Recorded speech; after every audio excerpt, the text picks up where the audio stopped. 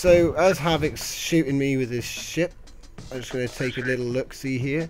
And what I can see from this is we've got an extremely unique spine with uh, rings going all the way back. And I'm guessing each ring's full of AMCs, giving us a lovely circular waffle which goes straight up the neck of the inside and out. looks a bit like a, some kind of accelerator, some kind of... It looks crazy.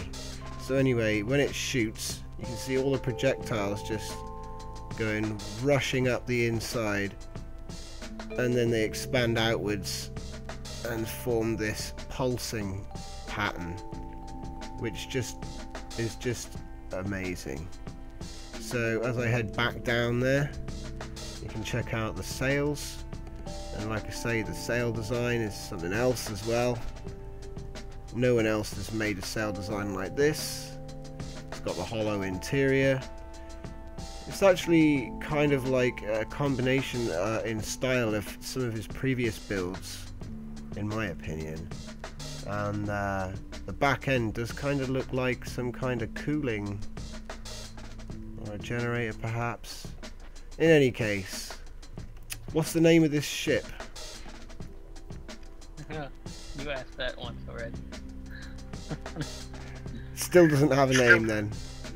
Still doesn't have a name. Alright, alright. Alright. So it's the solar sail ship that has no name. You can ask for it in the comments. I can ask for it in the comments. Okay, so there it is.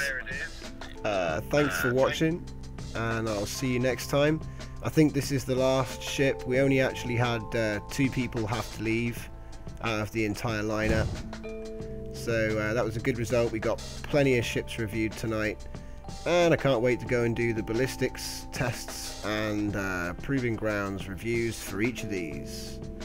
So thanks again and I'll see you soon.